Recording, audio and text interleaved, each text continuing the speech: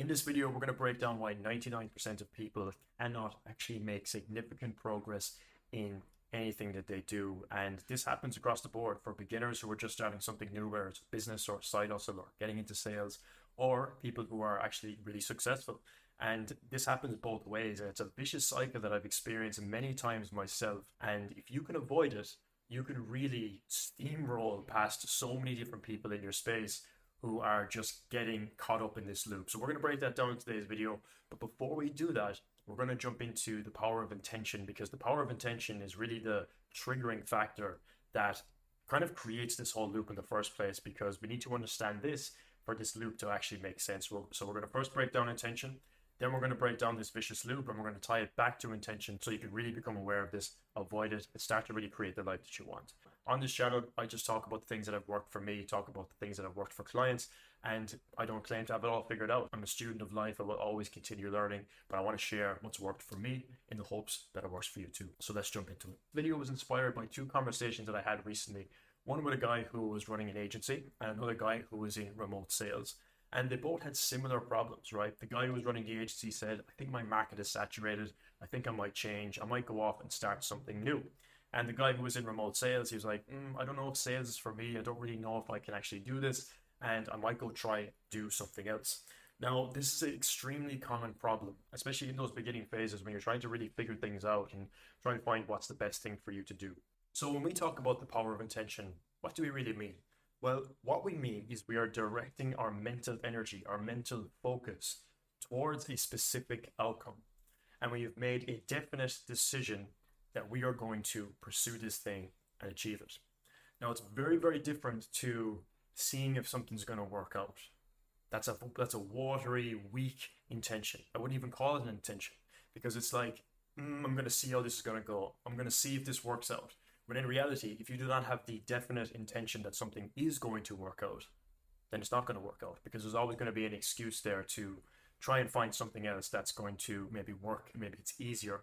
And this is where this loop really comes into play, and we'll talk about that a little bit later as we go through this intention phase. But if just one thing I want you to understand is that an intention is very, very different to seeing if things are going to work out. Okay, so let's look at the timeline for an intention. So let's say you're there and you set an intention you want to travel the world, you want to make 10K a month, 20K, whatever the number is for you. You want to have financial freedom, time, location freedom, all that good stuff. And you've set the intention that you want to make this happen. Okay. A definite intention, a definite purpose that you are going to get there. Okay. So let's look at this as the end point, the goal. Okay. Let's say you're here and you have this new identity because if you've watched some of my other videos, you hear me talk about identity. Identity is the new version of you that we're stepping into because to get something, to achieve that outcome that we want, that intention that we've set, we must first be something. So that's the new identity. If you want to check out some of my other videos around that, I'll link them around here. So we get to this point here with this new identity. But you'll notice that there's this big gap in between. Okay? So this is the gap. And this is the journey that we must travel in order to achieve what we want to achieve. And this is very important because this is the same with anything that we set in life, whether that's a dream relationship that we want, whether that's a goal that we want to achieve in business, whether that's, you know, a fitness goal, whatever the case is for you, there's always going to be a gap in between where you are and where you want to get to. So the next thing I really want you to understand is that when you set this intention, the world is going to unfold before you. The journey ahead is going to be very, very clear as you take the next steps. Now, you're not always going to see 10 steps ahead. You might only see one step ahead. And you might not always have a clear picture of what that looks like. But one of the biggest lessons that I learned is when you do set that intention, everything is unfolding before you. And when you understand this, it becomes kind of like a game. And you can see it from a higher level perspective rather than just, I'm, I'm, I'm making this decision and all of a sudden I have to do these tasks and I have to get these things done and I got to figure these things out. And it, it can be all very, very overwhelming when you're doing that. And there's all these skills you need to learn. There's all these things you need to do and there's all these different life pillars that you need to master. If you've seen some of my other videos you'll hear me talk about life pillars. There's these seven different areas of our life. So mind body spirit relationship network money purpose and business which is purpose and business are together and all of these things start to you know align with each other but you have to figure them out as you go and that can be scary and overwhelming so i completely get that and the problem with a lot of people is that when we set this intention we think that it's going to be different to the way that it actually is, but the path that unfolds before us is our unique path. that path that unfolds before us is the path that we are meant to travel. And we must trust that this intention that we've set is guiding us in the right direction. So you'll notice here along this path, you'll have these obstacles, right? We use these as obstacles. And these will be people that you meet, challenges that you face, lessons that you need to learn, things that you need to accept about yourself that you may have shoved under the rug for a long period of time. You'll understand things like self mastery and self development and mindset and you know increasing your energetic state and all of these different things and you start to learn skills like sales and you start to learn skills like you know outreach and marketing and content and all of those different things and these are the lessons that you need to learn along the way. Really, the high level understanding that I want you to develop when it comes to this process itself is that all of these things are actually happening for you specifically. They're not these challenges that are just there for no reason. Because when we face a challenge, it means that we must become somebody different to overcome that challenge. And for you to become someone different, is you becoming person you need to be to be able to make this happen in the first place. These things are there to help you level up. And if you're starting to feel doubtful or you're starting to feel fearful of the, the journey ahead, then these are all signals that you need to move into action, that you need to level up, that you need to master something. And it's up to you to figure out what that something is because some of these challenges that we face can be a little bit confusing from time to time. We think that maybe we have a problem with our strategy or the thing that we're doing that's, you know, it's going to get us the result. But a lot of the time, it can be a personal problem that's just reflecting into our business. And that's the problem that we need to solve. And it's up to us to bring ourselves to an awareness and a level of consciousness where we can really start to look at our life, look at our purpose, look at our business, and really see that we can overcome these things by understanding what it is that I need to master. What is the quest that I need to go on? What is the mission that I need to accomplish in this game of life to be able to make this intention that I've set become a reality. If you're enjoying this video so far, be sure to like and subscribe because it lets us know to make more content like this for you. Let's jump back to the video. So with that kind of high level understanding of intention, I want to share a personal story with you because this was something that happened to me very, very early on when I started to understand the power of intention. When I was living at home in my parents' house and I was just getting started, I was about eight months into my journey of starting a marketing agency and I made my first thousand dollars online, but I never made anything after that. And I was really, really struggling. But I had this big idea in my mind that I wanted to sit on the beach and I wanted to have an Airbnb close by where I would be working on my laptop and I was living in a sunny country. I'm from Ireland originally where the, you know the weather's not that great. It's rainy all the time bit depressing in my opinion. So I wanted to get near the sun. I wanted to be out. I wanted to be living that digital nomad life that I was seeing online from all of these people. Right, that was my intention, and I didn't really care too much about the money that I was going to make because uh, that was my that was kind of my long term play. I really had an understanding of you know this 10k a month goal that I had at the time was something that I'm going to achieve at some point. It was more about the travel for me in the beginning because I just wanted to get out of my current environment. I just wanted to move out. I just wanted to, you know, start living the life because previous to that, I had, you know, lived uh, outside of my parents' house for six years as I was working in a college and things like that. But I moved back to, you know, really start my business and to have a little bit of leverage and a bit of a little bit of leeway in terms of finances so that I could get this off the ground. But I hated it, so I wanted to move out. And as I was learning more about meditation, I was, as I was learning more about intention, I would sit there and I would hold the vision in my mind of being able to sit on the beach and be able to have a walk or be able to just be out in the sun. And it was really, really simple. It wasn't I was I wasn't imagining villas or I wasn't imagining, you know, anything really special. It was more just like I wanted to be in the sun. And what I would do is I would imagine it. And I kind of forgot about it after a while. I stopped doing it. I kind of remembered it every now and again, and I still kind of wanted it, but I was just really focused on building the skills. And I was, and I was kind of doubtful and fearful at the time of was I even able to accomplish this? And over time, I kind of forgot about it a little bit. And because I was forgetting about it, I was actually unconsciously detaching from it, which is another key thing to remember when it comes to intention is that we have to be we have to have a level of detachment to be able to actually make this come to come to life. But when I was hyper focused on it, it didn't really happen because I was really I was way too focused on it. I wanted it too much. But when I detached from it and kind of forgot about it, and I was like, hmm, you know, who knows? It'll happen at some point.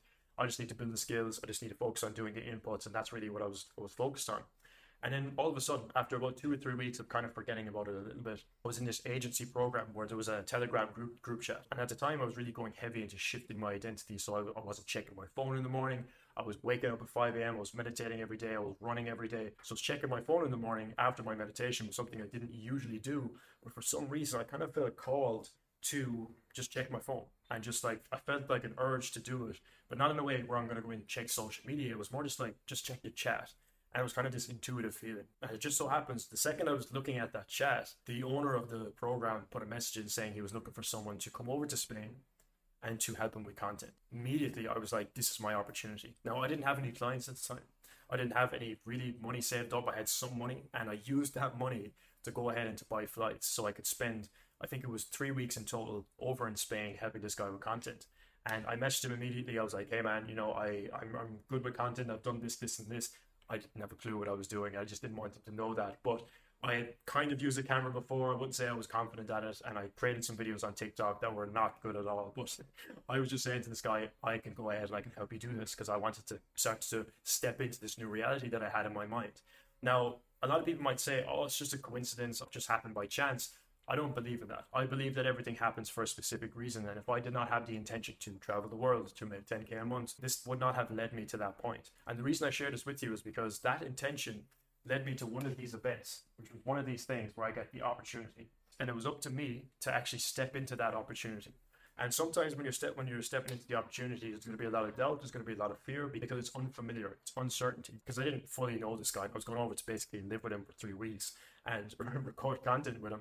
All I knew was that he was living the life that I wanted to live: online business, traveling the world, and doing some cool stuff. And long story short, we ended up becoming great friends. We're still great friends now. We check in with each other every single week. The big takeaway with this personal story is that that would not have happened without the power of intention. That direction of focus, that mental energy took me to this opportunity. And it was up to me then to take the leap, to take the chance, which I think is where a lot of people get stuck. Even if you feel uncertainty, even if you feel fear or doubt, just moving with courage when it comes to these things allows you to take advantage of the opportunities. Now, of course, this is all revolved around moving out of those low level emotions, which is, you know, kind of in a survival paradigm, and moving up into a state of acceptance and responsibility and integrity. And we've talked about that in other videos, but I wanted to share that with you because intention is extremely powerful. And I want you to see that all of these things that are going to happen throughout your journey are going to be taking you in the direction that you need to go. To build on that story even more, when I was over there and I was shooting content and I was uh, uh, getting to know this guy, I actually signed my first ever agency client at the time as well. And this just goes to show when you set an intention, you move with courage, and you have your mental focus directed towards a certain thing, and you're doing the things that you need to do, and you start to trust the process, things start to happen for you. But you also have to understand that there's going to be hardships and there's going to be drops. It's not going to be all uphill from there. And the thing is with this, right? When I signed a client here, this was like a win. So this was like a big win and I was when I came back to the place where I was, I was like, shit, now I'm back in Ireland and I don't want to be here. I want to get out of here as soon as possible. So that created this sense of urgency to be able to change my situation, right, and get out into the world. But the thing was, this client that I had signed originally paid, you know, 250 euros the time. I was charging super low ticket. I didn't know what to charge. And this guy was a client for three months, but every single week he would delay payments and he would make up these excuses and he would say that he's losing his house and he said his wife is leaving and it was all these crazy things happening every single week. And I was kind of too naive to really understand what was going on. He was just blatantly lying to me, and he ended up not paying the full amount. So this was one of those lessons that came along, you know, which was like a big L. It was a big lesson for me. And after that, I was like, holy shit. I was like, this is actually stuff that can happen. It's not all just like up and up and up. But you'll see here that this is like the ups and downs. It's the ups and downs that you have to be able to navigate and just keep going throughout that process because that led me to reflect and was like, okay, well, I need to learn to be more assertive. I need to learn to be able to vet people. I need to question, like, am I attracting these type of people into my life? How can I level up? How can I become better so that I can start attracting better clients into my life? And a couple of months passed where I was really in the down low and I didn't understand like how I was going to change these things.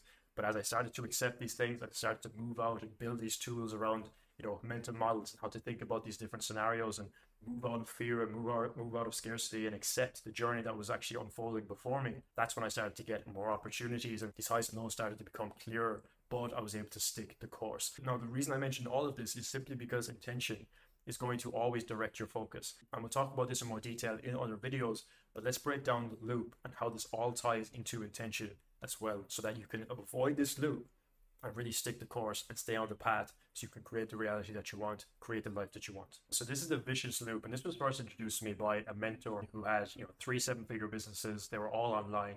Some of them were based around online marketing and e-com and things like that. I didn't really understand this, and I ended up getting stuck in it far more than it actually benefited me. So it was only when I started to reflect on the things that I've learned, and this, you know, this diagram specifically is where I really understood where I was stuck for a long time. So I've seen this. I've seen a lot of entrepreneurs talk about this since then. Uh, it's not an uncommon thing. I think Alex Hormozi talks about it as well. So let's break it down. So we have the first section here, which is uninformed optimism. Now, this is where you see a new opportunity, and you're like, "Holy shit! This is the thing. This is what I need to do." You see, you see people on YouTube talking about the best business model to start in 2024, or the only thing that you need to do to make 10k a month, or whatever, whatever the videos are. This is where you see the new opportunity. This is super, super common. It's this new shiny thing, and you know it gets very, very distracting.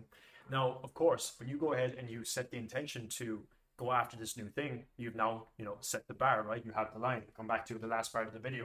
You have the line. This is where you want to get to. This is where you are, and this is the intention that you have set. And this is where you're about here in the very, very beginning. So you have uninformed optimism. You're optimistic about the future. You're optimistic about the opportunity. And you're like, this is going to be amazing. I can't wait to get into this, right? That's where you find yourself. Now, as time passes, so time down here, as time passes along here, you slowly start to move down here.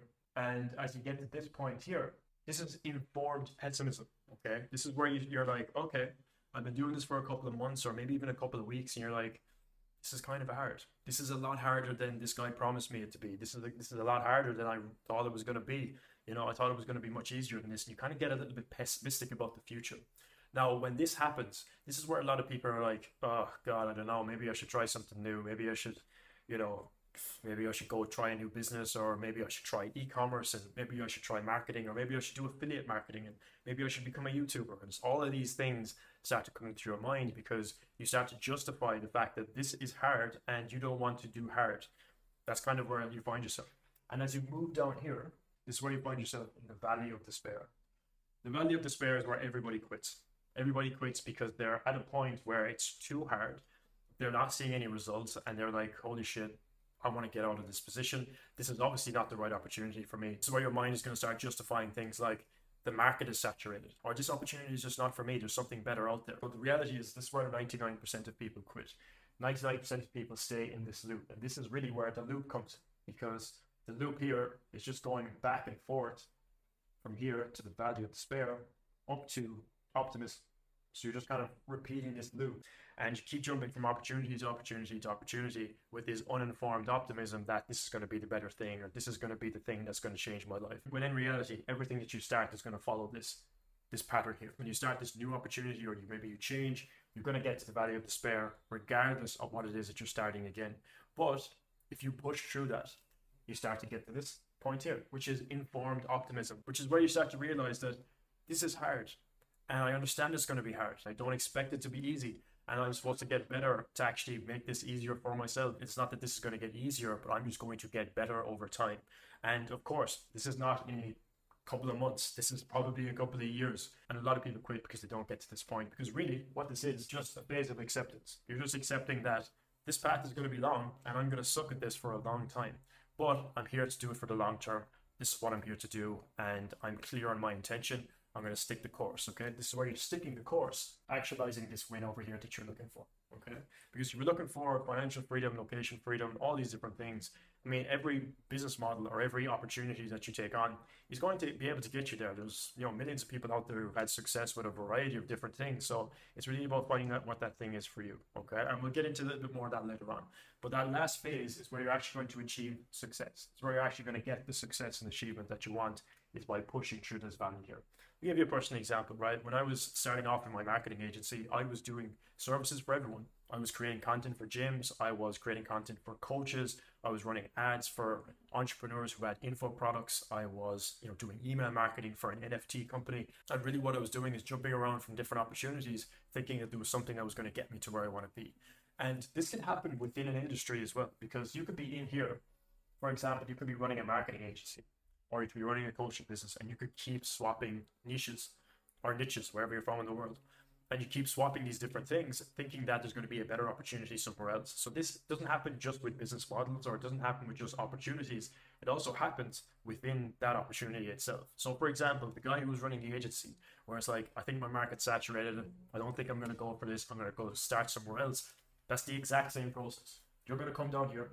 Probably he's probably approaching the valley of despair. He's probably thinking, damn, this is pretty hard. This is harder than I thought it would be. Uh, I think everything's saturated. Everybody's out there running ads, and I can't compete with these people, and it just gets hard.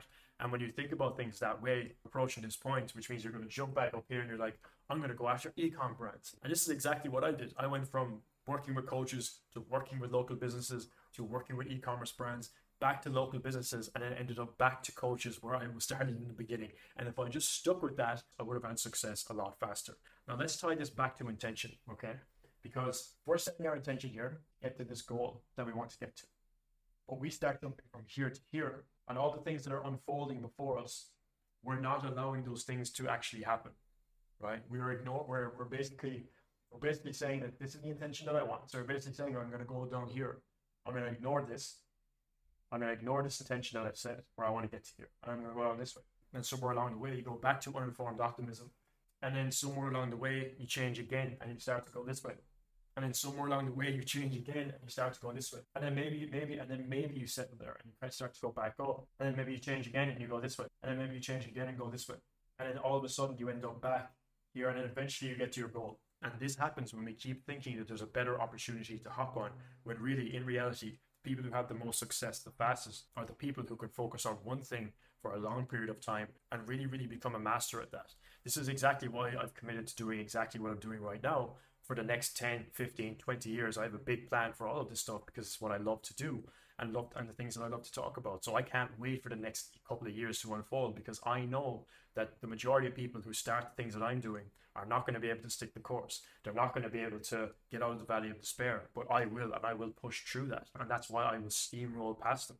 And it's exactly the way I would like you to think about it as well. Because if you are setting an intention to achieve something and you've made a commitment to do it a certain way, then stick the course and don't find yourself jumping from things like crypto to different business models to this and that because you're just delaying the creation process. You're not allowing the actualization process to just happen the way it is meant to happen. You're causing all of these different changes by shifting your intention and focus to different things, which is just taking you completely off track and delaying the process overall. My personal theory behind all of this, because I've experienced this myself, is that this is why it takes a couple of years for people to really see any progress, why it takes some people a short space of time. Because we live in such a distracted world these days, it's so easy to look at YouTube and see all these new opportunities because things get hard and we get stuck in our emotions, we get stuck in fear, we get stuck in doubt.